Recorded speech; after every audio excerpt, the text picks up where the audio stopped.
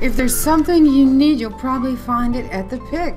That's short for Pic and Shovel. It's a hardware store, houseware store, clothing store with just about everything else there is. In fact, they have a great selection of men's, women's, and kids' clothing and footwear. They also have a whole bunch of pets and pet supplies, even refrigerators and washer and dryers. Need the kitchen sink?